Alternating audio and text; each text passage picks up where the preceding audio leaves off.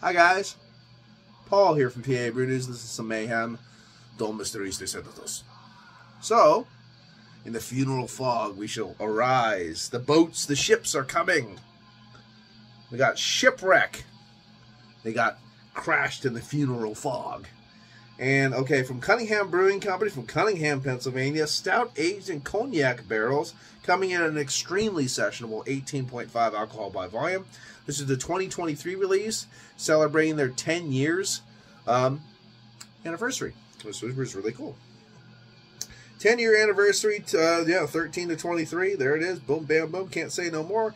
Uh, we have bottle number 148 of 750. Um, this is an expensive bottle. I'm not gonna lie right now.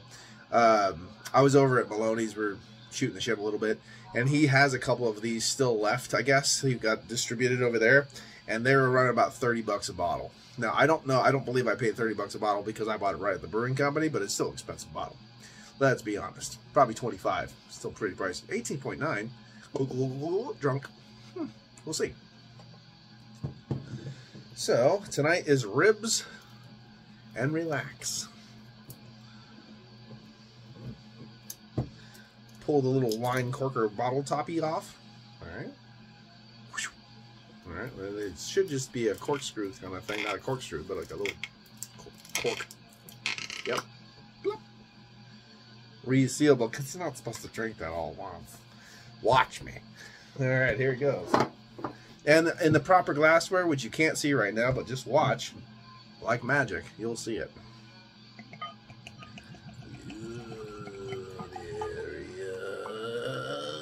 Fuck. There it is. Now you can see it. Boom. Conyngham Brewing Company, baby.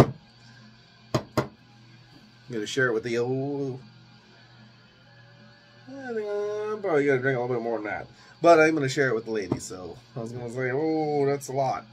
I know she doesn't want a lot of it, so I will throwing it all over the place. Unbelievable. Beer. Okay. We'll recap it right now just for to keep some kind of freshness freshness sealed. All right. Let's get an aroma up to the light. Uh, it's pretty dark. It's pretty dark. A little bit of a caramel hue at the pinnacle of the, black, of the, of the, of the glass. Can't talk. But let's get an aroma. Cheers. Oh, smells good. Man, that does. That smells.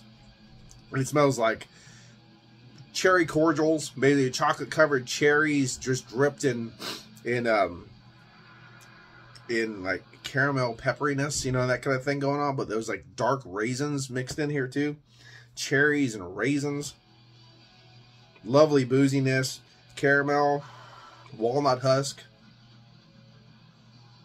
It's not bourbon, it's cognac. But goddamn, smokiness is coming out here. A little bit of leather.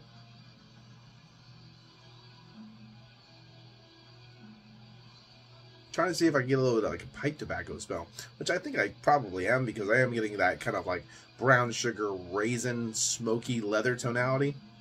It just didn't click in my brain. I was like pipe tobacco, but the, the aromas out of here are just nuts. Yeah, ethanol alcohol bringing a ton of dark fruit with it and a nice little pepperiness. I don't usually spend this long smelling beers, so let's get into it. Cheers.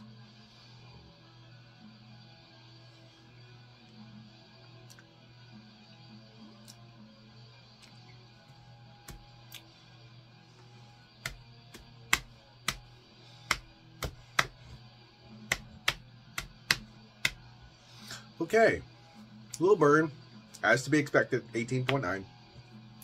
Flatter than a witch's tit. so definitely dead. It's a dead beer. Um, so it's kind of like that flat spirit kind of vibe I think they're going for because it is dead.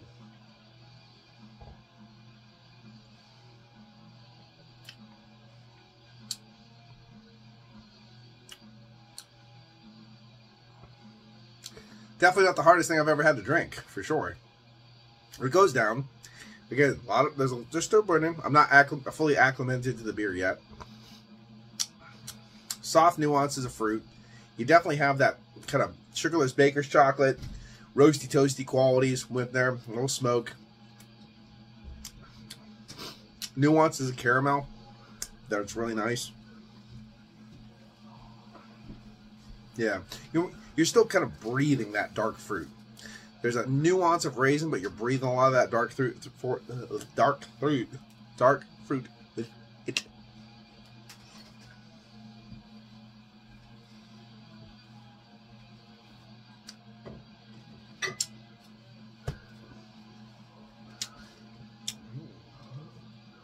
Not too bad.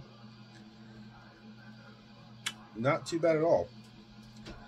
I can't say this is, you know, it's, it's not blowing my doors off or anything like that, but it is a, you can tell it's a special beer. It's a big ass beer. You have to rate it accordingly.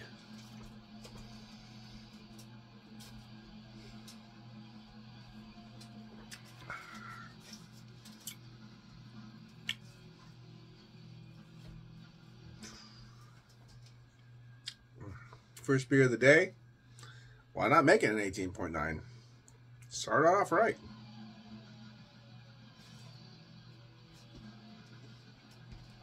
Well, anyway, I'm going to get done with this in two more sips, so might as well call it a day and review it. That way I have some stuff to share with the girl. Absolutely. No, no need to drink alone. So right here, shipwreck. All right. Stout aged in cognac barrels, 18.5. Well, it definitely is a special, special brew. It is kind of like nuanced, though. I don't really consider it a bombastic beer, shoving it in my face, screaming at me the whole time. It is, it, is, it has a little bit of a sweetness, which is nice. It's overall pretty damn smooth. A lot of nice dark fruits kind of wafting through from that ethanol alcohol. Yeah, it's pretty approachable, honestly, and already I'm acclimated to it. So I could keep drinking the whole bottle without a problem. Problem comes later, if you know what I mean. Other than that, uh, I'd say it's damn fine. No problem with that. I've had way, way worse beers than barrel aged beers that are, you know, it is pricey. So in that, I'm going to throw in the 8.5 category. It probably won't be for everybody, but I enjoy it. Cheers. Well, here's to another 10 for Conyngham. Cheers. Watch that finger.